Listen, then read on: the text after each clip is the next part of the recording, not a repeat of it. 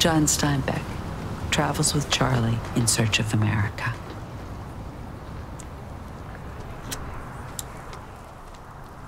I saw in their eyes something I was to see over and over in every part of the nation a burning desire to go, to move, to get underway, any place away from any here.